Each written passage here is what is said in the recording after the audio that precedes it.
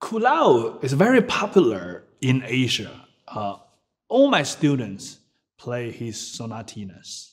I mean, this piece, uh, this sonatina, uh, has a few uh, very famous segment. Of course, the one I just played, that's the first movement.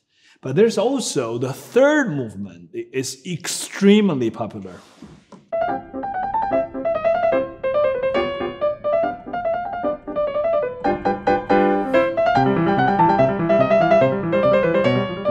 Driving music. It's, it's fantastic. But obviously, it's not easy for a kid to play evenly. So very often I hear the, the kid play like.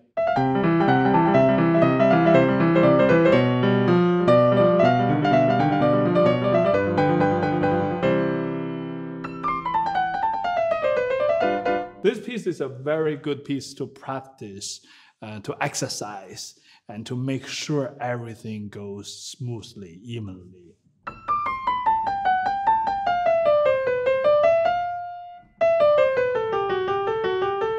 It's actually not ragtime.